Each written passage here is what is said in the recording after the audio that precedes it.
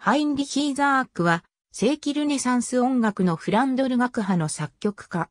ジョスカンと同世代の作曲家の中では、最も重要とみなされている。イザークの生い立ちについて、詳細は不明だが、おそらく、フランドルの出身。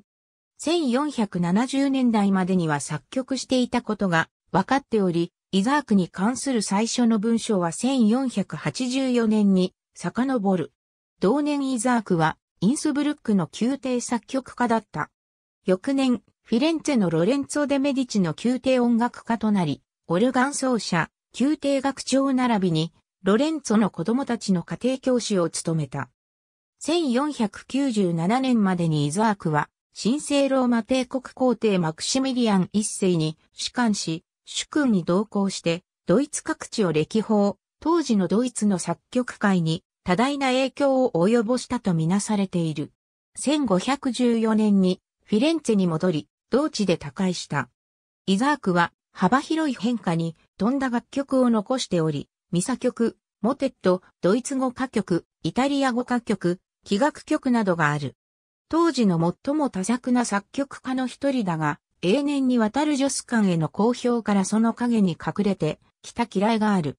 彼の最も有名な作品は、おそらく、ドイツリード、インスブルックよさらばインスブルック、イッヒムースディッヒラッセンであろう。この曲は、しかしながら旋律そのものは、イザークの創作ではなく、単なる編曲だったのかもしれない。この旋律は後にルター派のコラール、おーよよ、我、汝より離れざるを得ずオーベルト、イッヒムースディッヒラッセンにも流用され、バッハ作品やブラームスのオルガン曲の基礎となった。